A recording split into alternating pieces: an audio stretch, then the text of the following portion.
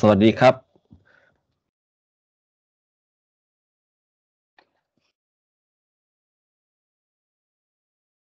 วันนี้เป็นวันแรกนะของการเริ่มเรียนในรายวิชาหนึ่งหนึ่งสามสามหนึ่งศูนย์สองฟิสิกส์สองเนื้อหา เดี๋ยวจะให้ดูเนื้อหาก่อน รายวิชามีสามหน่วยกิจ เนื้อหาก็ไม่น่าจะยากมาก นะครับ ผมส่งเอกสารให้แล้วทางกลุ่ม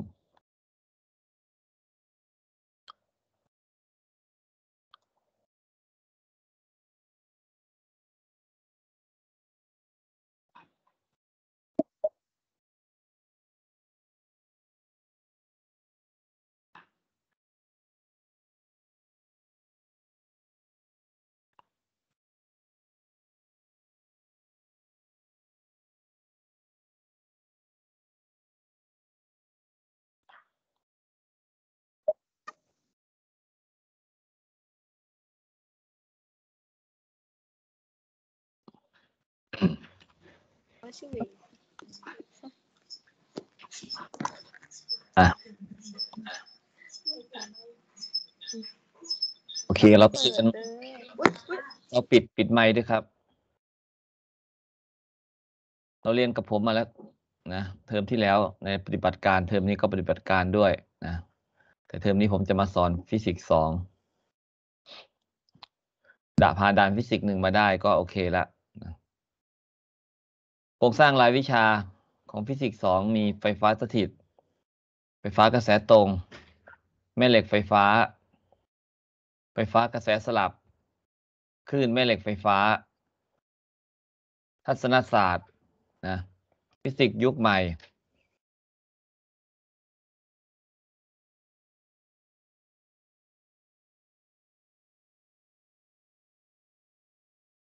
มีมีมีแค่นี้เนื้อหา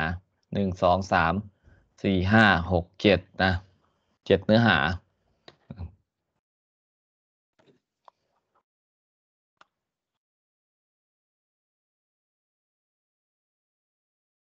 ในการประเมินผล ก็จะมีการบ้านนะยี่ห้าเปอร์เซ็นต์การบ้านส่งเยอะเราจะให้ให้ส่งอัปโหลดออนไลน์ไปเลยนะซึ่งมันได้ผลอยู่นะเมื่อรอบ เทอมที่แล้วผมใช้กับแ l บเราก็ใช้ได้นะ ขอให้อัปโหลดให้มันได้นะเป็น PDF ไฟล์นะ เดี๋ยวผมจะจะส่งลิงก์ให้ รายงานผมจะมีให้ทำรายงานใน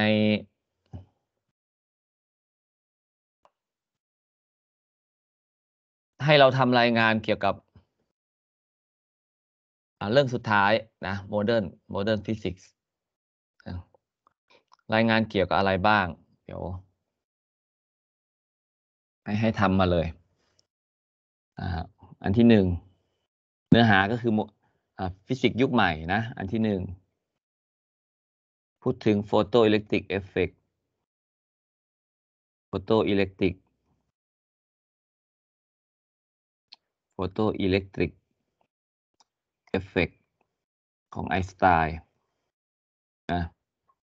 ที่สองคอมคอมตันนะคอมตันน่าจะเป็นอย่างเงี้ยคอมตันสแคตเตอร์ลิงอ่าไปค้นมาอะอันที่สามอ่าอันที่สามก็ เป็น radiation เป็น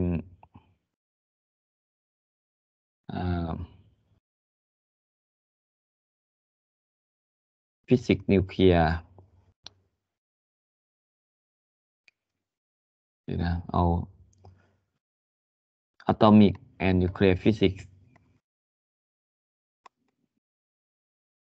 พูดถึงเกี่ยวกับพวกนิวเคลียสของธาตุแล้วก็การแตก การแตกสลายของนิวเคลียสของธาตุกัมมันตรังสีทั้งหลาย atomic atomic and nuclear nuclear physics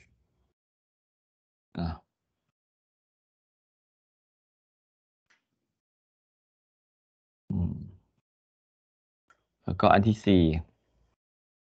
เลเซอร์ laser application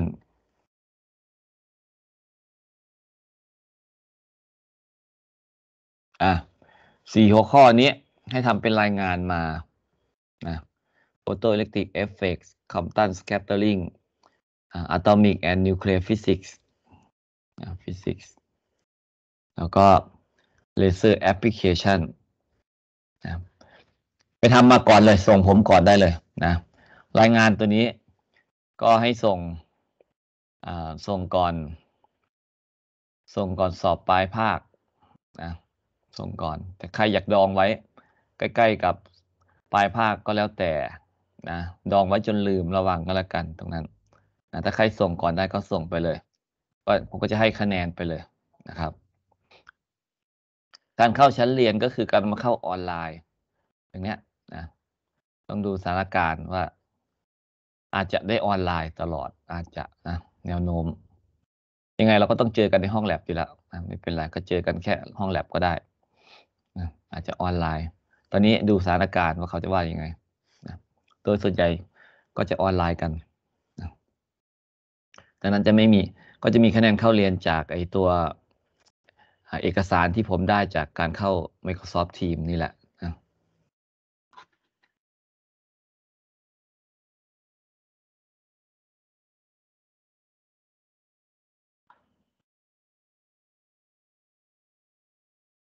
มีการสอบย่อย สอบย่อย ระหว่างออนไลน์แล้วก็จะมีการสอบย่อย ผมก็จะให้โจทย์แล้วก็ให้เราอัปโหลดอัปโหลดคำตอบ หรือวิธีการการแสดงวิธีการต่างๆ เลยให้เราอัปโหลด ก็ส่งตามลิงก์ที่ผมให้ไปนะข้อมูลต่างๆ ผมก็จะได้ตรวจเราจะให้คะแนน 10%ตัวนี้ฉะนั้นการทดสอบย่อยนี้ไม่จำเป็นจะต้องทำทุกคาบ นะอาจจะทำไม่กี่ครั้งก็ได้ หรือจำนวนหลายครั้งก็ได้ แต่จำนวนครั้งกับงานที่ได้นะก็จะเท่ากับ 10%รวมกันเบ็ดเสร็จ ส่วนสอบกลางภาคก็ไม่เยอะใช่ไหมเท่ากับการบ้าน 25%ให้น้อยเนื่องจากว่าจะได้เวลาสอบกลางภาคได้น้อยจะได้แก้ตัวได้ ในช่วงสอบปลายภาค โอเคนะ นี่คือคร่าวๆ นะก็มีโอกาสได้เอกันเกือบทุกคนนะจากข้อมูลที่ที่มี ส่วนเอกสารหนังสือก็ส่วนใหญ่ผมจะใช้ของ Physics for Scientists and Engineer ไปค้นดูในเทคบุ๊กอะไรต่างๆนะก็อันนี้อาจจะมีขาย มีขายเป็นภาษาไทยอยู่นะ ผมเห็นไอ้ทางทีมงานในทางลาดกระบังเขา อาจารย์ลาดกระบังเขาเขาแปลไว้อยู่ เป็นรุ่นน้องผมเองอะเขาเขาเขาแปลไว้ ถ้าจะดูภาษาไทยนะในหนังสือหนังสือตามไหนน่าจะมีร้านซีเอ็ดบุ๊กอะไรพวกนี้จะเจออยู่ ส่วนห้องสมุดมหาลัยก็น่าจะพอมี แต่ว่าไม่ใช่หนังสือภาษาไทยอาจจะเป็นภาษาอังกฤษนะอีกตัวหนึ่งที่มียังยังยังไงฟรีแมนตัวเนี้ย ซึ่งเรามีในห้องสมุดภาควิชาเรา นะเยอะเลยหลายเล่มเลยนะไม่รู้ถึงร้อยเล่มหรือเปล่า ไม่มั่นใจนะเป็นเล่มหนาๆใหญ่ๆตัวเนี้ย อันนี้ก็ใช้ฝึกโจทย์ได้นะพวกเซอร์เวยสองอันตัวเนี้ยนะ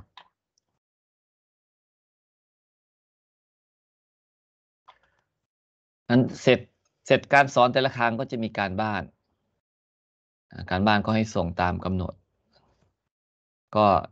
ก็จะให้ส่งแบบ attach ไฟล์เหมือนกัน อย่าลืมเขียนชื่อลายมือของตัวเองการบ้านต้องทำด้วยลายมือของตัวเองเท่านั้น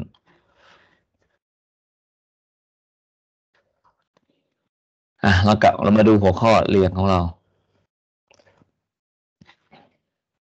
ไฟฟ้าสถิตนะก็คือการศึกษา ไฟฟ้าที่เกิดจากประจุที่มันไม่ได้วิ่งไปไหน ไม่ได้เคลื่อนที่ตลอดเวลานะก็คือสถิตคือหยุดนิ่งได้นะครับว่าสถิตก็คืออยู่กับอยู่กับที่ไม่ไปไหน แต่มันก็สามารถที่จะขยับไปอีกเปลี่ยนตำแหน่งได้ แต่ว่าเปลี่ยนแล้วก็หยุดความหมายแบบนี้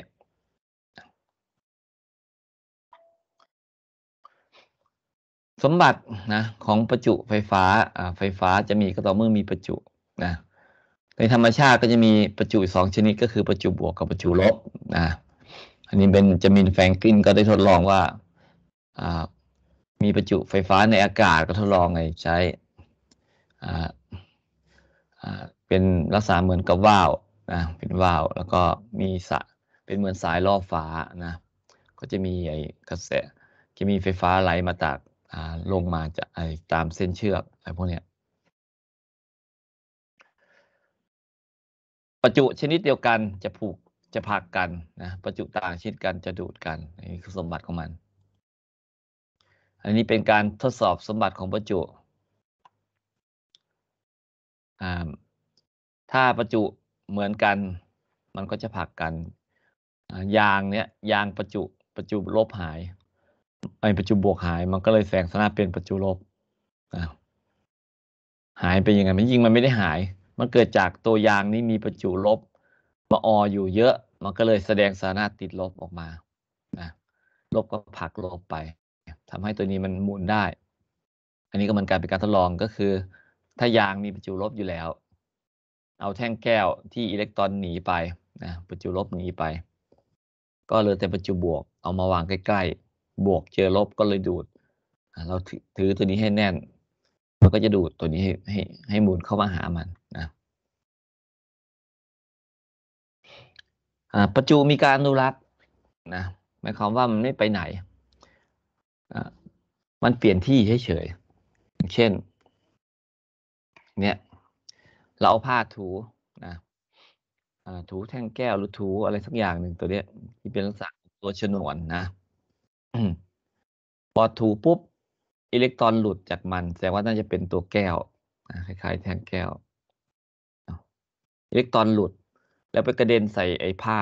ในผ้าสกหลาดตัวเนี้ย กระเด็นใส่ผ้าตัวนี้ แต่ว่าผ้าตัวตัวผ้าสกหลาดตัวนี้ก็จะมีประจุเป็นลบนะไอ้ตัวแท่งตัวเนี้ย แท่งวัตถุตัวนี้ก็จะมีประจุเป็นเป็นบวกนะเพราะอิเล็กตรอนหนีไป แต่โดยรวมแล้วอิเล็กตรอนยังคงอิเล็กตรอนประจุบวกประจุลบ ในภาพรวมของทั้งคู่ก็ยังคงเหมือนเดิมเพียงแต่มันเปลี่ยนที่เฉยๆนั้นเราจะเลยบอกว่าประจุมีการอนุรักษ์นะไม่ได้หายไปไหน ก็ยังคงเดิม ประจุรวมยังคงเดิมนะแล้วประจุนะประจุนี้ จะมีลักษณะเป็นช่วงๆอะ Q เท่ากับ NE NE อ่ามีลักษณะเป็นช่วงๆ หมายความว่ายังไงหมายความว่าประจุทั้งหลายที่เรามีอยู่ จะเป็นจำนวนเท่าจะมีค่าเป็นจำนวนเต็มเท่าของประจุอิเล็กตรอนนะ E ก็คือประจุของอิเล็กตรอน ดังนั้นเช่นอิเล็กตรอนนี่นะจะมีประจุเป็น 1.6 คูณ 10ลบ19 คูลอมอะหน่วยของประจุเป็นคูลอม ดังนั้นประจุโดยทั่วไปก็อาจจะกลายเป็น 3.2 คูณ10ลบ19คูลอม ก็คือ2เท่าของ E แต่ว่ามีประจุอิเล็กตรอนอยู่2ตัว ประจุตัวนี้จะมีค่าเท่ากับประจุอิเล็กตรอน2ตัวนะถ้าเราแทนค่าจริง ๆ เราต้องแทนเครื่องหมายด้วย จุอิเล็กตรอนก็คือลบ1.6แต่ว่าเอาไปคำนวณอะเราเอาแต่ขนาดไปคำนวณนะอันนี้ก็ลบอาจจะเป็นลบ2ของอิเล็กตรอนนะเป็น2เท่าของประจุอิเล็กตรอน ประมาณนี้ซึ่งทดลองโดยมิลลิแกนนะในหยดน้ำมันนะน้ำมันก็คือพวกตระกูลน้ำมันพืชอะไรพวกนี้นะ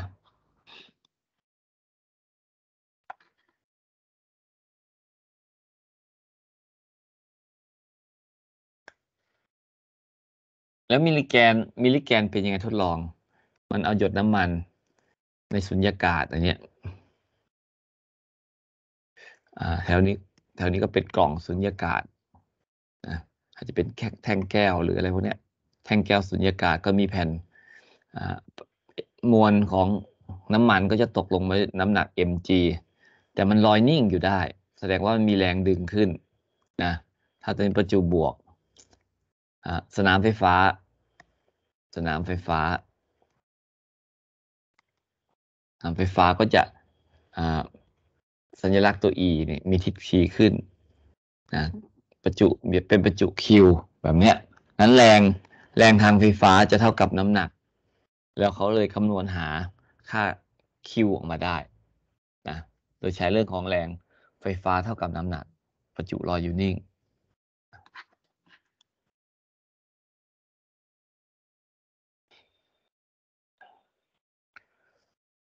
วัสดุทางไฟฟ้าเราแบ่งเป็นสามประเภท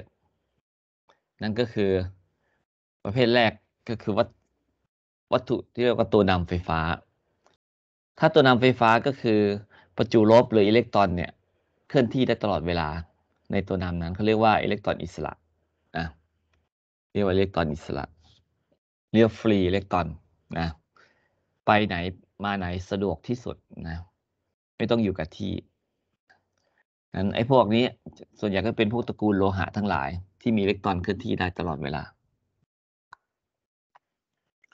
พวกที่สองก็คือพวกที่อิเล็กตรอนไปไหนไม่ได้นะอันนี้คือนิวเคลียสในอะตอมใด ๆ แล้วก็อิเล็กตรอนจะจะถูกยึดยึดนิวเคลียสจะยึดอิเล็กตรอนนะนิวเคลียส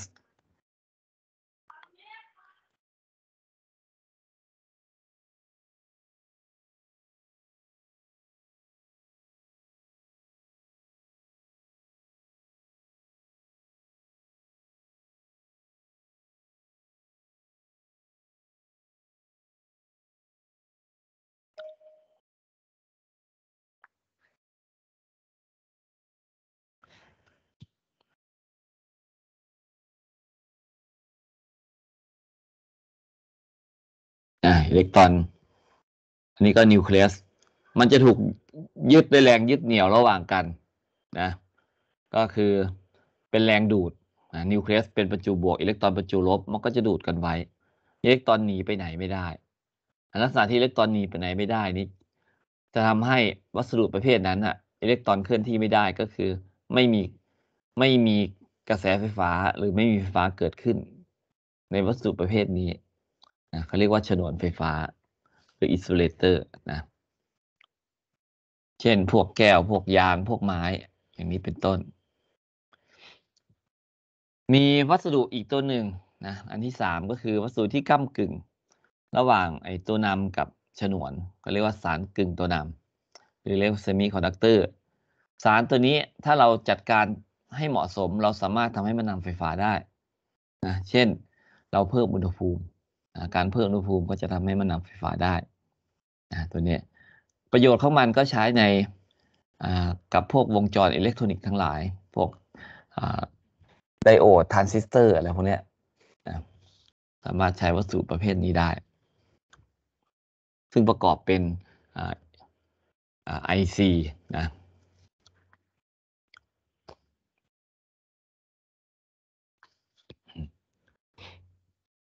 วัตถุที่เป็นกลางนะจะประกอบด้วยประจุบวกกับประจุลบที่มีจำนวนเท่ากัน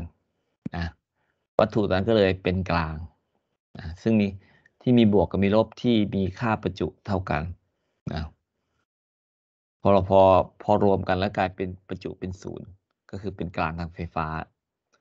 ถ้าเราเหนี่ยวเราถ้าเราเหนี่ยวนำประจุที่เป็นกลางทางไฟฟ้า เราจะเรียกว่า การเหนี่ยวนำประจุไฟฟ้า induce เรียกว่า induce electric induction นะการเหนี่ยวนำประจุไฟฟ้า วิธีการนะขั้นตอนจากรูปนี้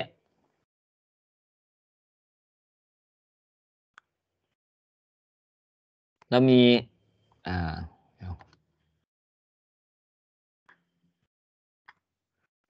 อันนี้ เป็นกลางเราจะเห็นว่ามีประจุลบอยู่หนึ่งสองสามสี่ห้าหกเจ็ดแปดแปดนะประจุบวกก็แปดนะหักล้างทั้งหมดเป็นกลาง ถ้าเราประจุลบเนี่ยมาวางเข้าเคลื่อนที่เข้ามาใกล้ๆ ประจุลบมันก็จะผลักประจุลบด้วยกันไอ้ตัวที่เคลื่อนที่นะคือประจุลบนะประจุบวกไม่ได้เคลื่อนที่นั้นประจุลบถูกผลักก็จะมาออกกันอยู่ฝั่งขวาเนี่ยตัวเนี้ย มาออกัน แต่ในขณะเดียวกัน ประจุลบบางตัว มันถูกประจุบวกดูดไว้อยู่มันก็ยังมาไม่ได้นะบางตัว แต่บางตัวที่เคลื่อนที่ได้มันก็เคลื่อนที่ออไปทางขวานะถ้าเราต่อสายดินสายดิน สายดินก็คือการเชื่อมต่อระหว่างบริเวณที่มีประจุเยอะๆนะกับไอตัววัตถุนี้ ไอ้โลกของเรานะโลกของเราเป็นตัวเก็บประจุขนาดใหญ่นะการต่อสายดินก็คือต่อลงโลก ต่อลงพื้นโลกนะประจุออกประจุเข้าไม่ส่งผลต่อประจุรวมของโลก จะไม่ได้บอกว่าเออโลกมีประจุบวกนะ โลกมีประจุลบนะไม่ไม่ใช่ โลกก็ยังเป็นกลางทางไฟฟ้าอยู่นะทางการต่อสายดินก็คือเหมือนกับการทำให้ประจุเคลื่อนที่จากโลกมาสู่วัตถุ หรือประจุเคลื่อนที่จากวัตถุไปสู่โลกนะแบบนี้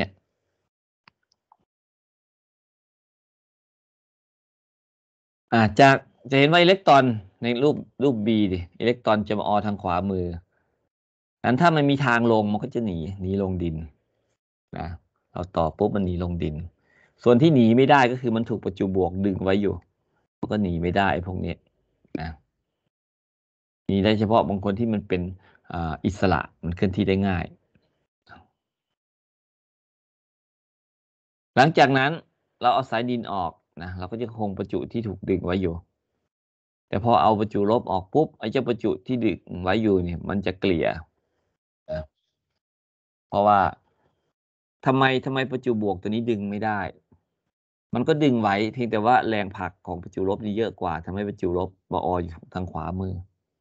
แต่พอเอาประจุ ประจุลบออกปุ๊บอิเล็กตรอนอิเล็กตรอนหรือประจุลบตัวเนี้ย มันไม่ไม่มีใครผลักมันแล้วมันก็เด้งกลับคืนแล้วก็เกลี่ย การเกลี่ยของมันก็คือเกิดจากประจุบวกที่เหลืออยู่ไปดึงดูดมัน แล้วทำให้มันเฉลี่ยแบบอยู่ในตำแหน่งที่เหมาะสมนะคือตำแหน่งที่เสถียรที่สุดนั้นหลังจากที่มันปรับตัวนะการกระจายของประจุเรียบร้อยแล้ว ภาพรวมของประจุทั้งหมดในที่นี้มีบวกมากกว่าลบ ดังนั้นสถานะของมันจะกลายเป็นบวกขึ้นมาทันที อันนี้คือหลักการเหนี่ยวนำประจุไฟฟ้านะต้องการให้เป็นประจุวัตถุที่เป็นกลางตัวนี้ ไปประจุที่มีสมบัติเป็นประจุบวก เราก็ต้องเอาประจุลบมาล่อนะทำนองเดียวกัน ถ้าต้องการให้ข้างล่างสุดตัวนี้เป็นประจุลบ อันตัวนี้ก็ต้องเอาประจุบวกมาล่อนะ แบบนี้ก็ทำขั้นตอนแบบเดียวกันนะ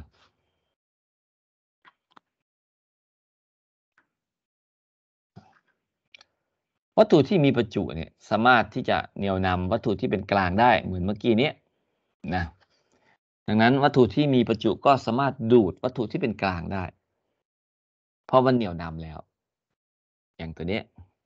ซ้ายมือ นะอันนี้อินซูเลเตอร์ก็คือวัตถุที่เป็นกลาง เราเอาถุที่ประจุบวกในเลื่อนเข้ามาใกล้ ก็จะทำให้ประจุลบได้วิ่งเข้าหาทำให้ขวามือนี้มีสาเป็นประจุบวกนะมันก็เลยติดกันทีนี้ยกตัวอย่างตัวนี้หวี หวีเราเราถูผมใช่ไหมเราถูผมก็อิเล็กตรอนนะอิเล็กตรอนก็จะมาออถูผมไป ตัวนี้มีประจุแน่นอนนะ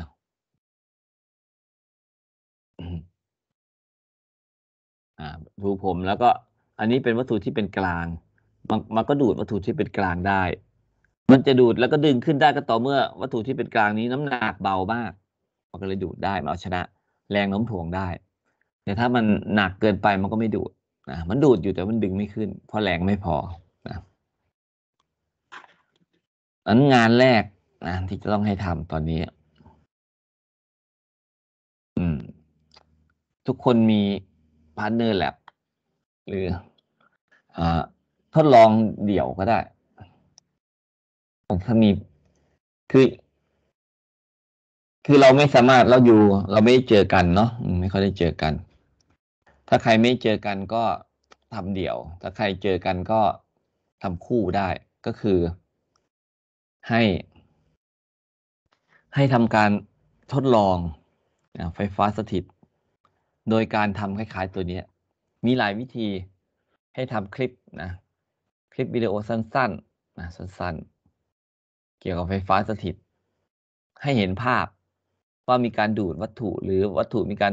เปลี่ยนการแปลงการเคลื่อนที่อะไรก็แล้วแต่เจอที่เป็นผลจากไฟฟ้าสถิต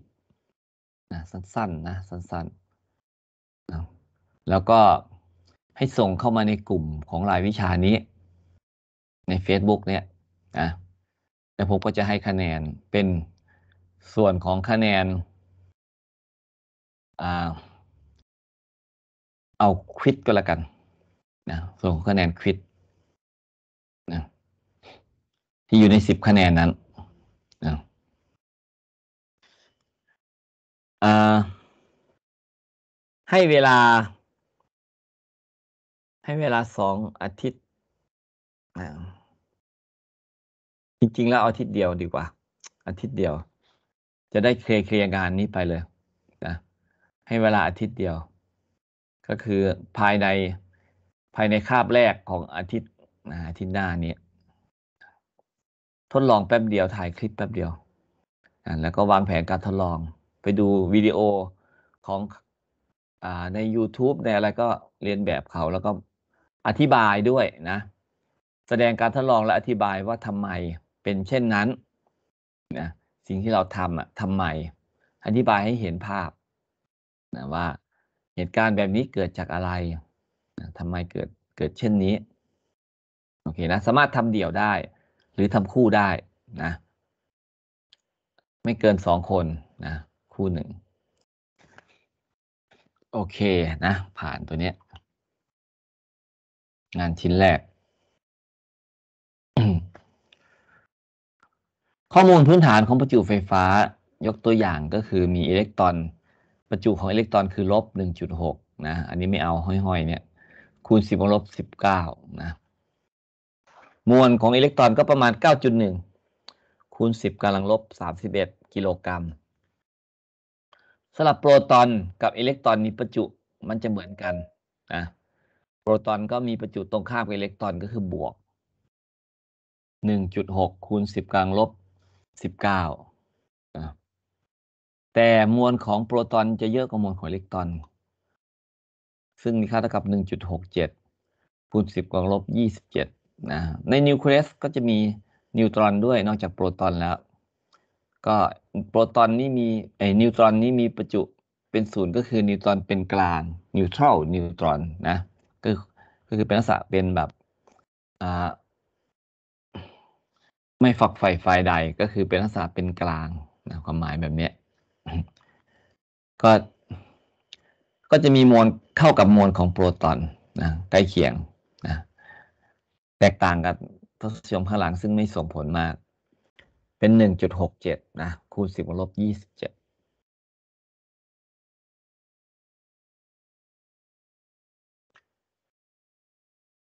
คราวนี้เรารู้เรารู้เรื่องประจุแล้วนะถ้าประจุ ถ้าประจุมันวางอยู่อ่าใกล้กันนะใกล้กัน อาจจะใกล้มากใกล้น้อยนะกก็แล้วแต่ มีประจุสองประจุนะวางอยู่ เกิดแรงระหว่างกันอาจจะเกิดแรงระหว่างกัน แรงระหว่างประจุเนี้ยก็ผมเขียนให้แต่นี้ก็คือแปรผกผันกับระยะห่างระหว่างกันยกกำลังสอง แล้วก็แปรผันตรงกับผลคูณของประจุทั้งสองที่คูณกันนะซึ่งถ้าประจุชนิดเดียวกันก็จะผักกัน ประจุต่างชนิดกันก็จะดูดกันนะซึ่งแรงแรงทางไฟฟ้าตัวนี้จะเป็นแรงอนุรักษ์หมายความว่ายังไง แรงอนุรักษ์ก็คือ งานที่เกิดจากแรงนี้จะไม่ขึ้นอยู่กับเส้นทางหมายความว่า ถ้าเราเคลื่อนประจุเนี่ยสมมติว่าเราเคลื่อนประจุเราต้องทำงานเนี่ยประจุคิวเนี่ยเคลื่อนมาเนี่ยโอ้โหเราต้องทำงาน จากตำแหน่งที่หนึ่งไปยังตำแหน่งที่สองแล้วออกแรงผลักมันไปเนี่ยเราต้องทำงาน งานเท่ากับ Fs นะหมายความว่าถ้า F กับ S อยู่ในทิศทางเดียวกันก็จับคูณกันแบบนี้ แต่ถ้ามันไม่อยู่ทางทิศไม่อยู่ในทิศทางเดียวกัน ก็ต้องมี factor cos เซตาก็มุมระหว่างกันถือว่านี่คือ F S อย่างเงี้ย มุมระหว่างกันคือมุม theta นั้น งานตามเส้นทางนี้กับงานตามเส้นทางเส้นตรงเนี่ย มันเท่ากัน อันที่นี้เขาบอก ถ้าเป็นแรงอนุรักษ์แรงตัวนี้เป็นแรงอนุรักษ์งานที่เกิดตามเส้นโค้งกับงานที่เกิดตามเส้นตรง มีค่าเท่ากันเสมอนะโอเคนะเขาเรียกว่าไม่ขึ้นอยู่กับเส้นทาง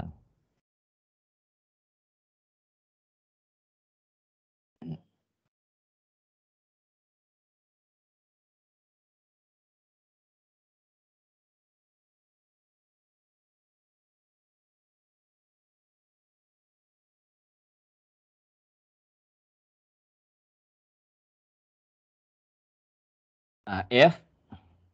เท่ากับ K นะแรงระหว่างการของประจุอ่าประจุตัวที่หนึ่งประจุตัวที่สอง Q หนึ่ง Q สองห่างกัน R ดังนั้นขนาดของมันนะของแรงระหว่างกัน จะเป็นแรงดูดหรือแรงผลักอะขึ้นอยู่กับ Q หนึ่งกับ Q สองใครเป็นบวกใครเป็นลบนะอะก็จะได้สมการตัวนี้เรียกว่ากฎของคูลอมนะตัวเนี้ ยและกฎของคูลอม ไอตัว K ตัวเนี้ยเป็นค่าคงที่ทางไฟฟ้า เพราะว่าเราใช้คำว่าแปรผันตรง แล้วเปลี่ยนเป็นค่าคงที่ตัวนึงถ้าเป็นเครื่องหมายเท่ากับนะค่าคงที่ตัวนี้เรียกว่าค่าคงที่ของคูลอมชาร์ลส์คูลอมเป็นคนคิดกฎตัวนี้ซึ่งมีค่าเท่ากับประมาณ 8.9คูณ10กำลัง 9 ซึ่ง เขาก็จะใช้ประมาณ 9 ไปเลย ส่วนไอ้เจ้า k เท่ากับ1ส่วน4พายแต่ตัวเอสลอนห้อยศูนย์ตัวนี้เอสลอนห้อยศูนย์ตัวนี้ก็คือ 8.85คูณ10กำลังอ่าน่าจะเป็นลบ12นี่พิมพ์ผิดนะลบ12นะจะต้องแก้นะ ว่าจะแก้หลายรอบแล้ว ไม่ได้แก้สักที เป็น permittivity of free space นะ permittivity of free space เป็นสภาพยอมนะในสุญญากาศ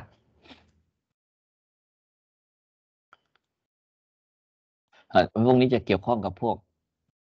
คลื่นแม่เหล็กไฟฟ้านะแล้วก็สมบัติของสาร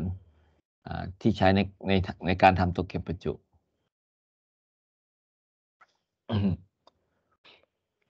อันนี้รูปนี้แสดงลักษณะของกฎของคูลอมก็คือ ถ้าเรามีประจุ Q1 วางอยู่ตรงรูปนี้ แล้วเราเอาประจุ Q2 มาไว้ตรงนี้ ระยะห่างระหว่าง Q2 กับ Q1 ก็เป็น R นะเราจะอิง เราจะอิง Q1 เป็นหลัก ว่า Q1 Q1 นี้อยู่ที่00นะอ่าอย่างเงี้ยอยู่ที่ ใส่แกนก็ได้เนี่ยมันอยู่ที่ coordinate สมมติว่า x หรือ y มองเห็นภาพ อยู่ที่0 0ดังนั้น ไอ้เจ้า q 2นี้ห่างจาก q 1เท่านี้ เราให้เวกเตอร์ r เล็กนี่ชี้ออกจากจุด origin อ่าเป็นเวกเตอร์หนึ่งหน่วยอ่าอันนี้ผมลบตัวนี้ออกดังนั้นตำแหน่ง q 2ตัวนี้อ่าระยะ r นี่ r ก็คือเวกเตอร์ r เล็ก ขนาดของ r คูณกับเวกเตอร์หนึ่งหน่วย r เล็กนะนี่คือระยะ q 2 เทียบกับ q 1 นะเนื่องจากว่า q 2 q 1 เป็นประจุบวก ดังนั้น q 2 ก็ถูก q 1ผลักด้วยแรง f 1 2 เอาเจ้า f 1 2 ตัวนี้มันก็มีสูตรก็คือ k kq 1 q 2ส่วนใน r กำลังสองห้อยเวกเตอร์ r ไป เพราะว่าชี้ออกไป ข้างบนขวามือนะแต่ถ้าเราเอาประจุ Q2 ติดลบมา ถ้าเป็นบวกนี้แน่นอน แรงไปไปตามของทิศทิศดังรูปนะข้างบน แต่ถ้าแรงไปตามรูปข้างล่าง Q2 ถูกดูดเข้ามา ก็ลูกศรแบบนี้ถูกดูด ถูกดูดเข้ามาปุ๊บ สมการของแรงตัวนี้ก็กลายเป็น F F หนึ่งสองเหมือนกัน ดังนั้น F หนึ่งสองในตัวหลัง F หนึ่งสองในตัวหลัง ก็จะตรงข้ามกับ F หนึ่งสองในตัวแรก ก็กลายเป็นลบด้วย K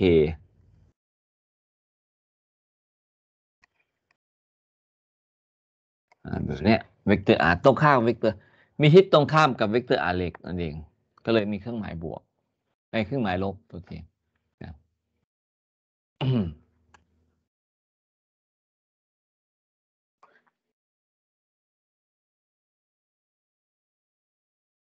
อเคอ่ามาดูตัวอย่าง มีจุดประจุสามตัวก็คือ Q หนึ่ง Q สองและ Q สามวางอยู่บน จุดมุมของโครงสามเหลี่ยมมุมฉากดังรูป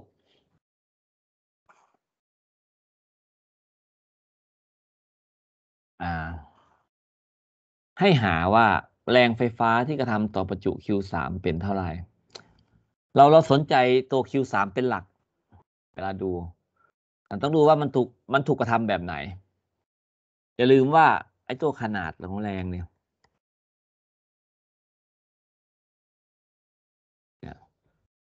ถ้า Q เยอะ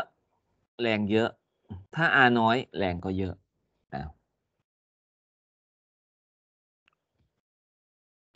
แรงที่กระทำต่อ Q3 ก็จะมีแรงจาก Q1 กับ Q2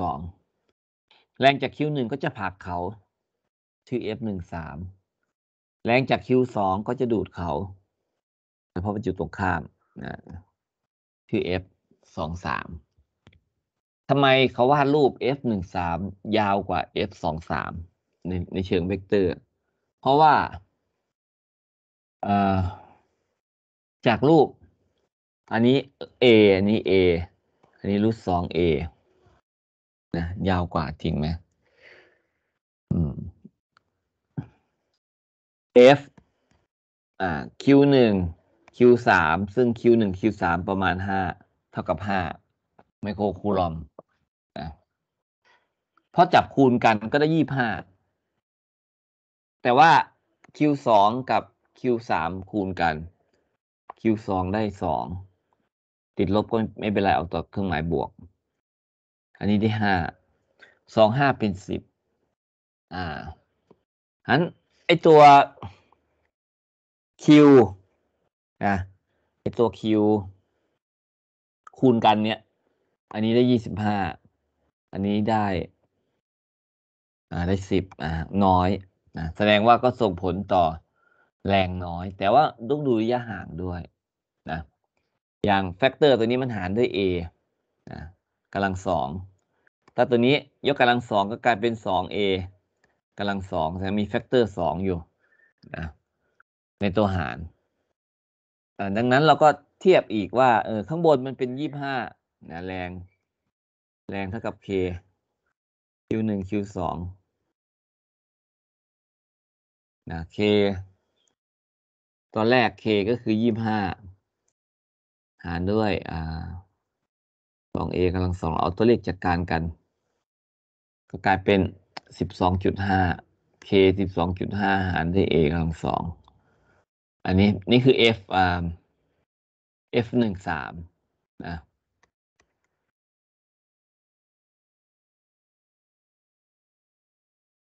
ถ้าเป็น f f สองสาม ก็เป็น k สองจุดห้าเดี๋ยวนะ k f สองสามก็สองสามก็ได้สิบอ่าสิบอ่าสิบคูณด้วย a กำลังสองอันอันนี้สิบสองจุดห้า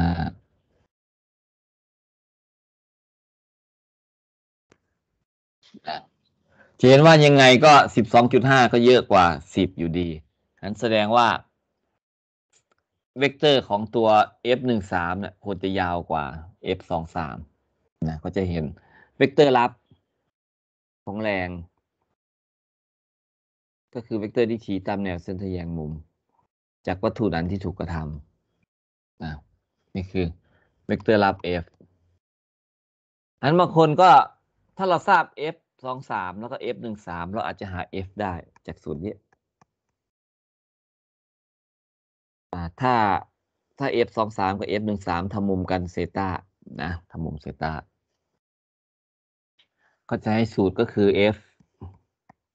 หนึ่งสามกำลังสองบวก f สองสามกำลังสองบวกสองเท่าของ f หนึ่งสามคูณกับ f สองสาม cos ซิตานะนี่คือหา f แต่หามุม หามุมของเวกเตอร์ลับไม่ได้ หาได้แต่ขนาดนะต้องการแต่ขนาดก็ใช้สูตรนี้ได้ทันทีเลยนะแต่ถ้าต้องการหามุมด้วย เราต้องใช้วิธีเรียกว่าแตกแรงนะเราจะแตก เรารู้ว่าเวกเตอร์ลับ คือตัวนี้ทำมุมทำมุมไฟล์นะกับแกน x ทางซ้ายมือ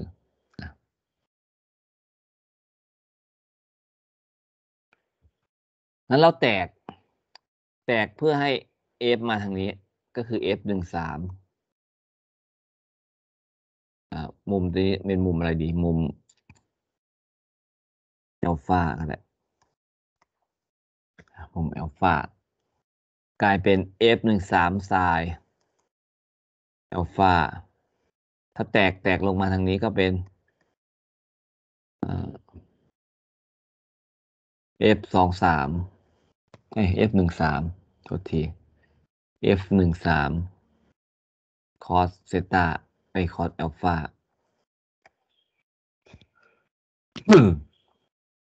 ในแนวแกน y เราจะมีแค่ตัวเดียวก็คือตัวนี้ในแนวแกน x เรามี f สองสามกับ f cos อัลฟา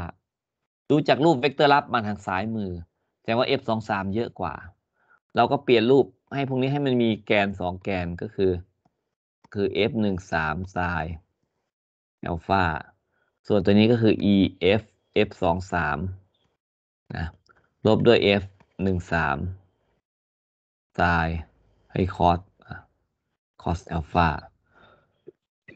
นะเวกเตอร์ลับคือตัวนี้คือ f ซึ่งเราคำนวณได้ ก่อนหน้านี้ แต่เราต้องการรู้ว่ามันทำมุม L ทำมุมไฟล์เท่าไหร่นะกับแกน x เราก็ใช้สูตรอ่าอันนี้เราหาขนาดด้วยจาก square root อ่าอันนี้อันนี้เรียกว่า fx อันนี้เรียกว่า fy อันนี้เรียกว่า fy อันนี้เรียกว่า fx นะกลายเป็น fx กำลังสอง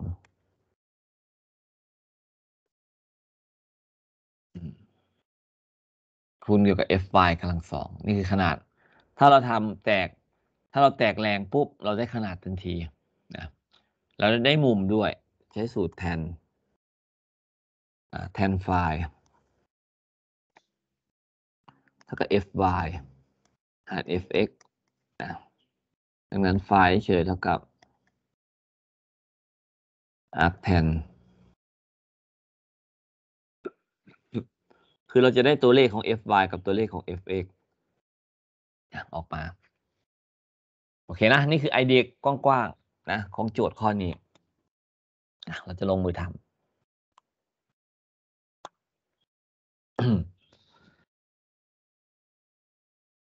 เราแตกดูหา f หนึ่งสองก่อน f หนึ่งสามเก้าคูณสิบกำลังเก้า q q หนึ่งก็คือห้า คูณสิบกำลังลบหก q สอง q หนึ่ง q สามก็อันเดียวกัน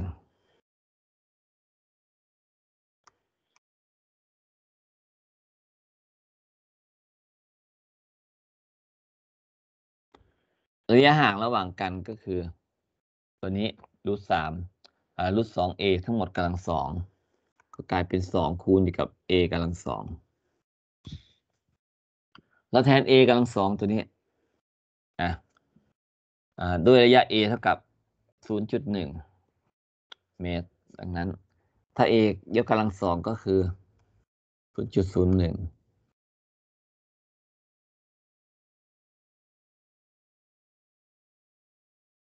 ได้เท่าไหร่ได้เท่าไหร่ตอบผมเสีย มีใครคำนวณออกมา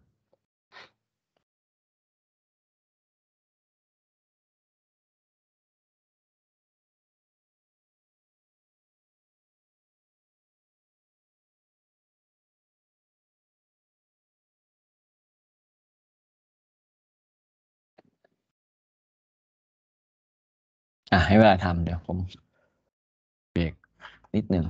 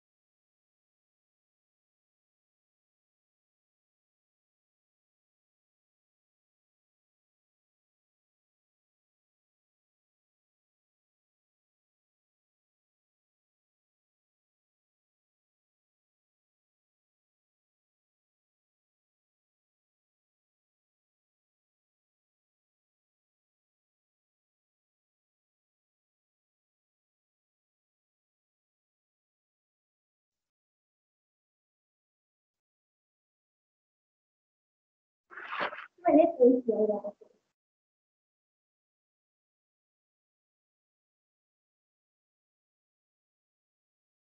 อาจารย์คะ อาจารย์ได้กดปิดไหมหรือเปล่าคะ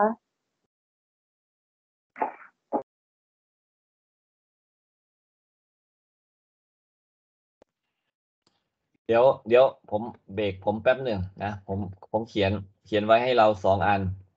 ก็คือ f หนึ่งสามกับ f สองสามเราคำนวณ คำนวณมาเดี๋ยวผมจะกลับกลับมาถามผมพักแป๊บหนึ่งนะอืมสักห้านาทีนะ พักสักห้านาที อาจารย์ครับ อาจารย์ได้อัดวิดีโอหน้าจอไหมครับ อัดไว้อยู่อัดไว้อยู่เราเห็นอยู่นี่เราเรามองเห็นอยู่นี่ว่ามีติ้งอ๋อโอเคครับอ่า